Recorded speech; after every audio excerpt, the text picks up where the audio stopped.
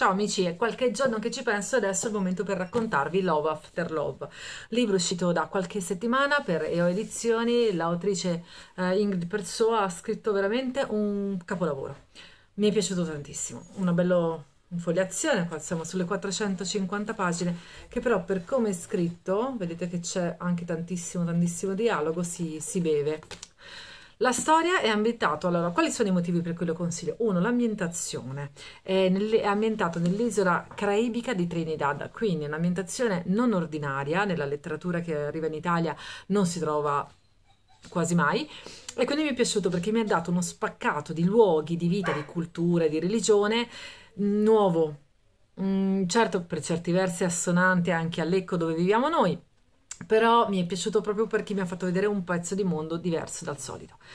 Poi perché i tre personaggi, i tre protagonisti della narrazione, che sono Betty, la signora 45enne, che la vediamo inizialmente all'inizio della narrazione a poco più di 40 anni, e rimane sola, il marito muore, ehm, rimane solo col figlio di 5 anni, il figlio che all'inizio appunto è un bambino, ma ved- lo vedremo crescere durante la narrazione, e poi il terzo personaggio meravigliosa è Mr. Chetan, insegnante nella scuola presso cui Betty fa la segretaria, che diventerà coinquilino. Mm, Betty affitterà una parte della casa a Mr. Chetan e si ricostituirà una sorta di famiglia loro tre insieme.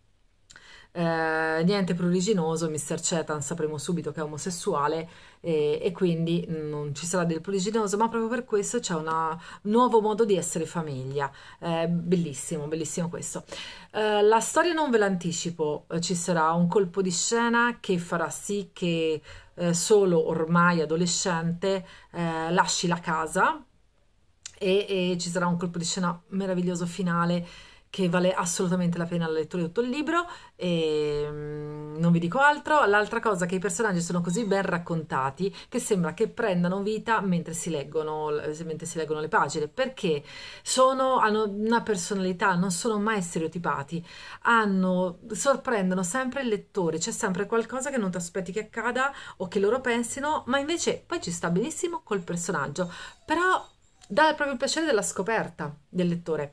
E un altro fatto, e poi vi lascio alla lettura così ve lo scoprite da solo, che io ho trovato fenomenale, è che i capitoli sono alternati. Eh, Betty, poi Mr. Chetan, poi appena solo sarà poco più che un bambino, anche lui avrà una voce con dei capitoli scritti dal suo punto di vista, che si alternano, ma tra un capitolo e l'altro concatenati proprio perché la vicenda temporalmente scorra, c'è quasi uno spazio bianco. Quindi alcune volte, non sempre, ma alcune volte siamo noi lettori che dobbiamo capire effettivamente cosa è successo in quella mezza giornata che la Ingrid Person non ci racconta, che i personaggi non ci raccontano con la loro voce e quindi c'è una mm, parte attiva del lettore in questo libro, ci sentiamo spronati a pensare. Quindi è un bellissimo romanzo, si legge tutto d'un fiato, a tratti un po' malinconico. Ma va bene, a chi lo consiglio? A tutti quelli che vogliono un libro in cui immergersi e stare un po' in compagnia di alcuni personaggi, a chi vuole riflettere su temi attuali in maniera da punto di vista inaspettati e diversi, e a chi è davanti ai grandi interrogativi della vita cosa diventare da grande, cosa fare da grande, come sarà quando i figli saranno grandi e quanto è importante mettersi alle spalle eh, delle cose pesanti che appartengono al nostro passato ma che non devono troppo condizionare il nostro futuro. Un abbraccio a tutti, grazie O per questo bellissimo libro, grazie Ingrid Perso, ehm, molto felice di consigliarlo. Ciao a tutti!